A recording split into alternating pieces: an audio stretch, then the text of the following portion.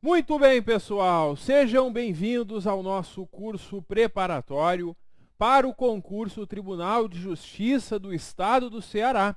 Sou o professor Gustavo Fregapani e vou trabalhar com vocês o conteúdo da organização judiciária do TJ, que é basicamente a Lei Estadual 16397 de 2017. A Lei de Organização Judiciária ela vai trazer as principais regras de organização do Tribunal de Justiça e de todas as suas comarcas, tanto da comarca de Fortaleza, na capital do estado, como também as regras para as comarcas do interior. Conforme o tamanho da comarca, pode variar a regra, como a gente vai ver ao longo do estudo. E isso aqui em fins de prova, as questões elas são muito letra da lei. É muito comum que a banca simplesmente copie trechos desta lei e coloque no edital perguntando se está certo ou está errado. Então, nesse, nesse formato de questão, a tendência é que a organizadora altere uma frase ou outra para tornar incorreto. Então, no nosso estudo, eu vou mostrar para vocês as possíveis pegadinhas que a FGV pode aprontar na nossa prova, com base no que eu já conheço da banca e no que eu estudei sobre a Lei 16397 de 2017. Chama a atenção de vocês que esta lei não está atualizada no site é, do Estado do Ceará. Eu tive que fazer uma atualização de forma manual, teve alterações inclusive neste ano de 2019, poucos dias antes do edital teve alteração também. O material que eu trago para vocês já está todo atualizado. Se durante o estudo tu for comparar o nosso material com outro que tu tenha pego na internet e tu perceba que está diferente, isso pode ser provavelmente porque foi atualizado e o material da internet não está atualizado. Porque em nenhum site na internet tem essa lei atualizada. A gente teve que fazer isso de forma manual. Eu peguei o texto da lei e peguei no site da Assembleia do Estado do Ceará todas as leis posteriores a 2017 que alteraram esta lei.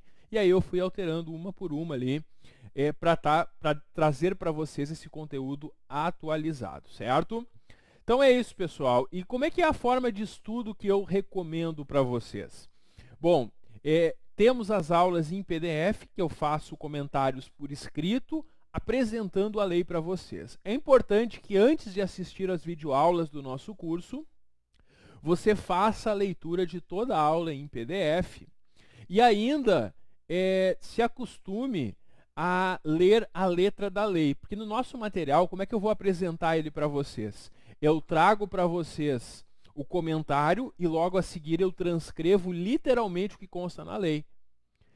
É importante que depois de fazer uma leitura de toda a aula em PDF, compreendendo o conteúdo, no momento de revisar, você fique lendo apenas a letra da lei e os quadros e esquemas que eu apresento na apostila.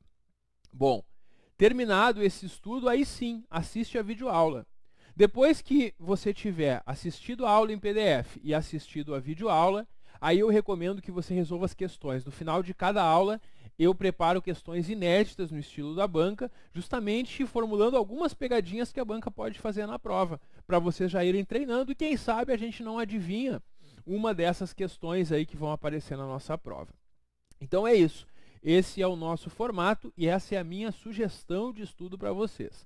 Claro, se tu estiver muito ocupado, não tiver tempo de assistir as videoaulas, você pode também estudar só pelo PDF, porque a aula em PDF ela é completa. Agora a videoaula ela vai ajudar a compreender melhor alguns conteúdos e ela trabalha muito também a nossa memória auditiva e visual, que é importante também para a prova. Então, eu recomendo fortemente que vocês façam a aula em PDF e assistam a videoaula mas se não puderem, tudo bem. A aula em, uh, fazendo só a aula em PDF ou só a videoaula, vocês também terão todo o conteúdo completo. É que aqui no Direção a gente oferece as duas possibilidades e se você tiver tempo é importante aproveitar ao máximo, certo? Ao longo do curso, qualquer dúvida que você tiver, pode me mandar aqui pelo curso que eu respondo geralmente no mesmo dia para ajudar vocês no estudo, principalmente conforme vai chegando perto da prova, para que vocês não percam tempo, certo? Então é isso, pessoal. Espero vocês é, na sequência para juntos estudarmos, para que vocês cheguem em condição de gabaritar essa prova do concurso Tribunal de Justiça do estado do Ceará.